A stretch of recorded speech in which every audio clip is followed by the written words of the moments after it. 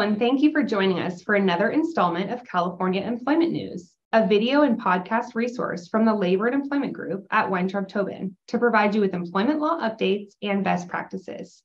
My name is Katie Collins, and I'm an associate in the Labor and Employment Group at Weintraub Tobin.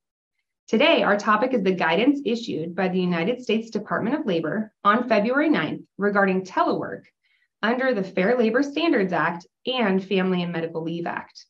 This guidance provides valuable insight to employers on the DOL's interpretation of various issues, including compensation of teleworking employees under the FLSA, protections for nursing employees when working remotely, and eligibility rules for teleworking employees under the FMLA. The purpose of the new guidance seems to be aimed at reminding employers that employees who telework remain covered by the protections of both the FLSA and the FMLA.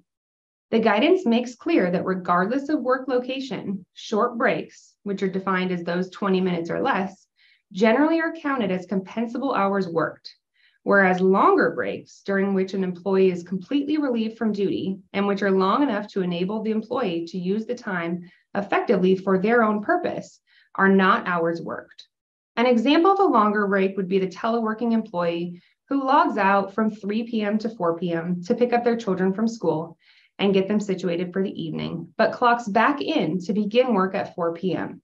The period between 3 p.m. and 4 p.m. would not be considered compensable hours worked under the FLSA because the employee is completely relieved from duty, chooses when to resume work, and is able to effectively use the time for their own purposes. The guidance reminds employers they must pay for all time they know or should know is being worked. This is particularly important for employers who allow teleworking employees to set their own schedules. Employers should have clear policies and procedures in place regarding the accurate recording of all hours worked.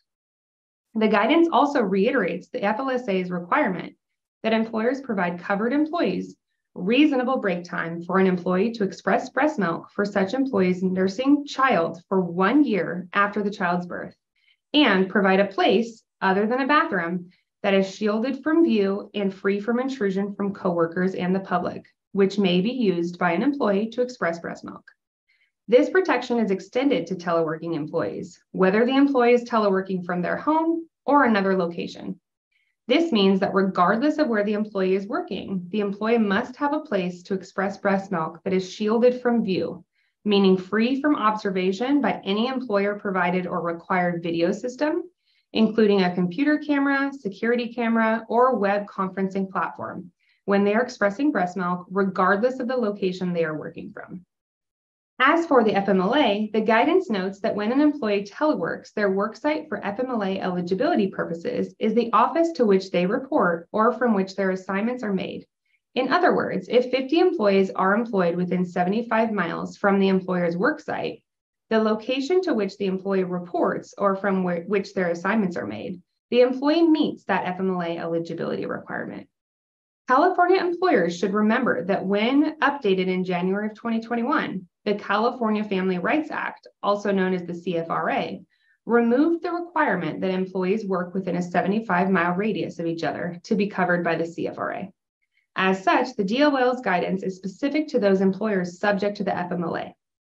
As always, when implementing policies, California employers must ensure those policies comply with the federal law, but also with the generally more stringent California law.